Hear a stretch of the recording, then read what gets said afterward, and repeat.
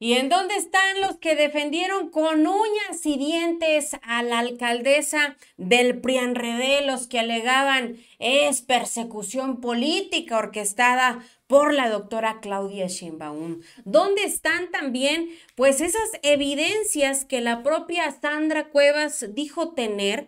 porque aseguraba, le iba a demostrar a Claudia Sheinbaum y a sus policías que las acusaciones que pesaban en su contra eran parte de un montaje y ella misma decía, ya basta de persecución política. Pues dobló las manitas, llegó muy envalentonada, según al reclusorio norte, para la nueva y última, se presume, audiencia, después de que un juez determinó que Sandra Cuevas no cumplió con los términos de llevar a cabo la reparación de daños, este acuerdo reparatorio que incluía también ofrecer disculpas a los elementos que amedrentó, robó y discriminó. ¿Por qué? Porque salió a decirle a los medios de comunicación que era parte de una estrategia jurídica, pero que no aceptaba los hechos. Pues hoy, con todo el dolor de su arrogancia, tuvo que agachar la cabeza y enojada, haciendo berrinche y todo,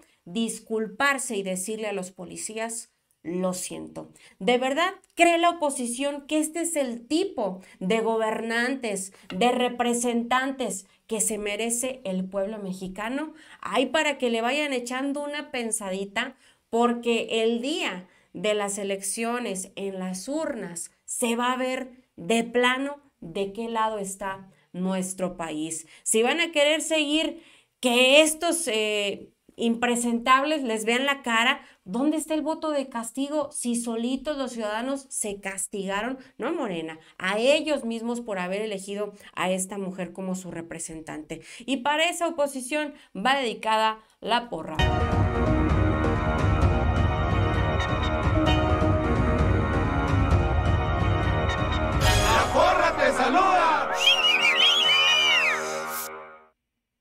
Amigos, ¿qué tal? ¿Cómo están? Bienvenidos a un nuevo video de este su canal Política para la Banda. Me da muchísimo gusto poder saludarlos. Y antes de entrar de lleno con este tema, los invito a que se suscriban y activen la campanita de las notificaciones. Mi nombre es Ceci Villalpando, les mando un beso, un abrazo bien, bien fuerte donde quiera que se encuentren. Y vámonos de lleno con toda esta información porque así se disculpó la alcaldesa eh, Sandra Cuevas, eh, según ella, ofreció sus más sinceras disculpas a estos policías auxiliares que amedrentó, insultó, robó y demás. Ahora sí, se supone, eh, pues se jugó todo, el todo por el todo, porque con esta acción no solamente sería garantizando que se mantenga la suspensión de dicho proceso judicial, sino que también evita ser suspendida o destituida de su cargo como alcaldesa ahí en la delegación Cuauhtémoc. Esta disculpa pues se dio precisamente ahí en una sala oratoria del reclusorio norte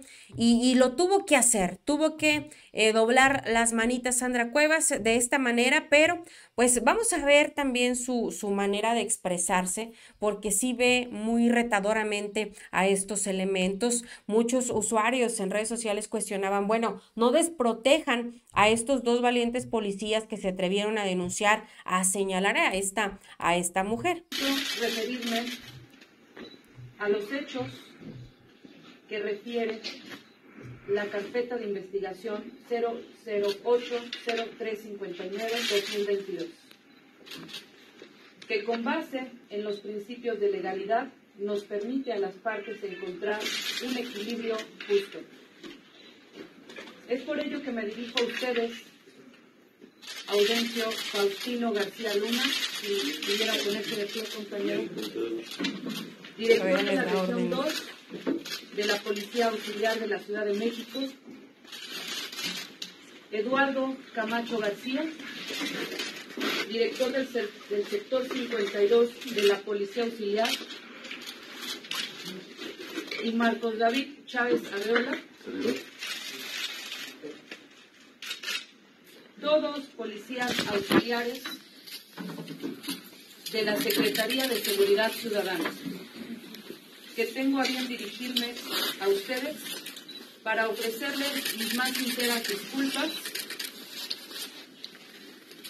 así como absolutas disculpas y decirles que lo siento. Del mismo modo, también ofrezco disculpas a la ciudadanía que ha depositado su confianza en mi persona, a quienes con honor represento, dedicándoles mis esfuerzos y proyectos de superación. Pero des, eh, no sé, desenfrenadamente podríamos decir, ella alega pues eh, hay persecución política después de tantos videos que hay, y digo tantos porque no es uno, no es dos, son varios, de donde se le ve que no puede controlar pues eh, su, su, ira, no puede controlar ese, el sentirse más que, que los demás. Pasó con ciudadanos, pasó con estos elementos y no se quedaron callados. Probablemente, pues sí, tenga razón este comentario de Celina que dice que se le debe retirar el cargo a esta señora, porque hace apenas eh, unos días circulaba este video a través de las redes sociales donde se presume Sandra Cuevas fue cómplice de un intento de sustracción de menores de edad. Antonio Atolini Murra escribe que tiene información de que la alcaldesa Sandra Cuevas habló para amedrentar a varios medios de comunicación en donde se retomó esta información. Dice, está fuera de sí y, asegura se retomó información porque esta noticia no es nueva. El video apenas vio la luz hace algunos días y se hizo viral. Pero esta nota de que Sandra Cuevas estaba involucrada en este acontecimiento ya es del año del pasado y pasado y pasado. Fíjese, si aquí se retomaba la información septiembre 2021, donde decían tiene una denuncia por intento de sustracción y aseguraban hay una carpeta en la fiscalía que respalda. Entonces salió a, a protagonizar esta escena de miedo, de terror, porque tienen que ver la cara de la mamá de estas pequeñitas, eh, el involucrado, pues se dice es pareja sentimental de, de Sandra Cuevas. Dice ella que hay campañas en su contra que no tienen escrúpulos, que está circulando este video del 2018. Nunca se dijo que fuera nuevo, no, no que era actual, ¿no? No, no se había eh, dado a conocer con imágenes, pero sí se sabía de este tipo de, de acontecimiento.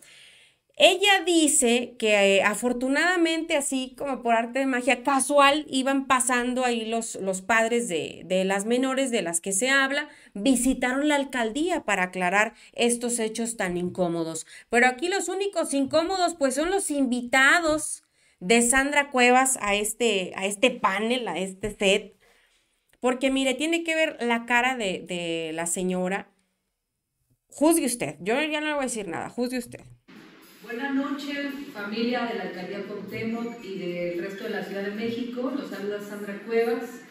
Quiero eh, hacer referencia a un video que ha estado circulando el día de hoy, un video en donde refieren que intenté secuestrar a unos niños. Quiero decirles que las personas involucradas en ese video son la señora Rocío, el señor Israel y el joven Arturo. Ellos tres, a quienes conozco desde hace muchos años, quiero decirles que esos hechos no ocurrieron de la manera en que lo están queriendo hacer ver. Nunca intenté yo secuestrar a, nadie, a un niño, y es muy importante que no utilicen a menores de edad, que no utilicen este tipo de videos para desvirtuar y para hacer daño, no solamente a un adulto, sino también bueno, yo estoy aquí para aclarar que... Y la volteé a ver así automáticamente de usted sigue, es eh, no ni siquiera adelante, señora Rocío, o sea, nada, nada, ya lo tenían preparadito. Personal era con Cristian Quiroz. Cristian Quiroz es el nombre que precisamente coincide con esta nota que les digo, ya tiene su rato, tiene su tiempo, y que aquí aseguran hay un antecedente en la fiscalía. Vamos a, a continuar con parte de, del video y era un tema de video Se regresó, ¿verdad? de familia.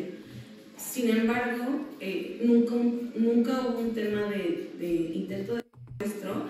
Tal vez sí, que no hay ninguna carpeta de investigación. Ya asegura la señora, no hay nada. ¿Cómo limpiaron mágicamente si hay antecedentes de notas que dicen, sí hay, sí hay ahí eh, parte de esta investigación en donde estuvo involucrada la ahora alcaldesa antes incluso de ser candidata, estamos hablando de años atrás que ya se sabía de este tipo de acontecimientos. Pero amigos, como siempre, su opinión es la más importante. Déjenme saber su postura referente a este tema. Gracias también por haberme acompañado hasta este momento del video. Gracias por suscribirse, quedarse aquí con nosotros en este su canal de Política para la Banda, activar la campanita de las notificaciones para que la plataforma les dé aviso cuando ya tengamos material disponible. Yo soy Ceci Villalpando, les mando un gran saludo, un beso un abrazo fuerte donde quiera que se encuentren y nos vemos en el siguiente video.